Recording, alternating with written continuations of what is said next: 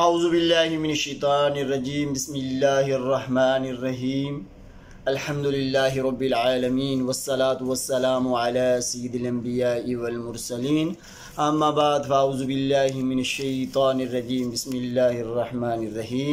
तमाम सुनने और देखने वालों को अस्सलामु आप देख रहे हैं अपना नेचुरल हर्बल यूट्यूब चैनल। तमाम भाइयों से मदनी इल्तिजा है कि आप इस मदनी चैनल को ज़रूर सब्सक्राइब करें और साथ लगे घंटी के बटन को दबा दीजिए ताकि मज़ीद मालूमती वीडियोस आप भाइयों तक पहुँचती रहे। आज का टॉपिक है, मौजू है सफ़ेद मूसली और सफ़ेद मूसली के फ़वाद और उसके खाने का मुकम्मल और सही तरीका। प्यारे मोहतरम भाइयों, ये एक जड़ी बूटी है, बसानी हर मुल्क में दस्तयाब है। अगर किसी मुल्क में दस्तियाब ना हो तो ऑनलाइन आजकल मिल सकती है, किसी दूसरे मुल्क से भी मंगाई जा सकती है। लेकिन इसके फ़वाद बेशुमार हैं। मर्दों और औरतों दोनों के लिए ये इंतहाई काबिल अतमाद चीज़ है। मखसूस अयाम में औरतों के लिए और मर्दों के लिए जरियान, इतलाम सूरत अनजाल माद मनविया को गाढ़ा करने के लिए ये इस्तेमाल की जाती है। इसका मजाज जो है, ये ठंडा है और बहुत ही नाजुक है। जैसे कहीं नाजुक आदमी भी होते हैं, कोई किसी से ऐसे ठोकर लग गई तो कहते हैं, यार, मुझे क्यों मारा है?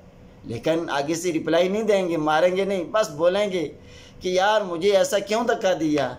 ये भी उन्हीं की तरह बहुत ही नाजुक होती है।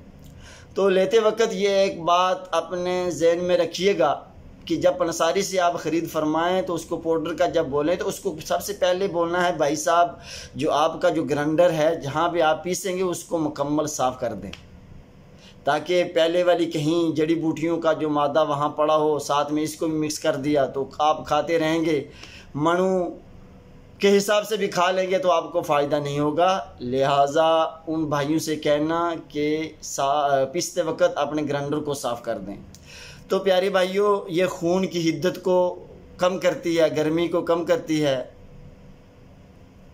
सूरत अनजाल की कैफियत को दूर करती है, जिनका मादा मनविया बिल्कुल पतला हो गया है, उनके लिए नहायत ही मुजरब है। दही और लस्सी के साथ इसको इस्तेमाल कर सकते हैं और इसके साथ कूज़ा मिश्री या चीनी का इस्तेमाल भी कर सकते हैं।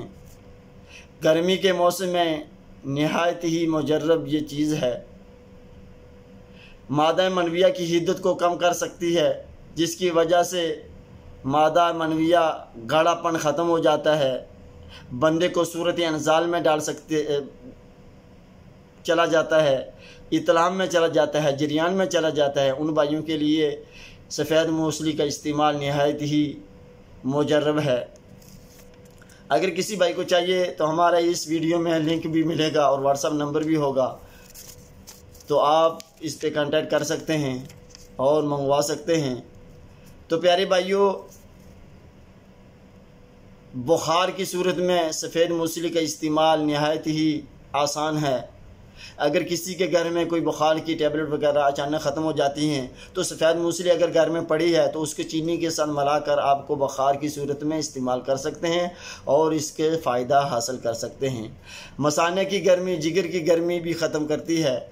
जिगर की गर्मी किसको कहते हैं? जिगर में जब सफ़रा बढ़ जाता है तो उसमें पीलिया जो होता है, वो बाहर खारिज नहीं करता, वो तकरीबन आँखों में चला जाता है, जिससे हमको, जिससे आदमी के आँखें जर्द हो जाती हैं।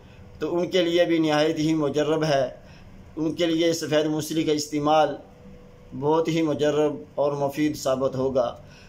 आप अपने दोस्त हकीम मोहम्मद मुश्ताक को इजाज़त दीजिए। अल्लाह हाफिज़ फ़ी अमान